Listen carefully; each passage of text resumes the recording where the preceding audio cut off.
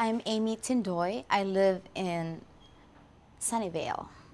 I have a kind of old Toyota RAV4L 2004. I first learned about uh, Toyota Sunnyvale when I had my car wash at the Lozano Car Wash just two blocks away from here.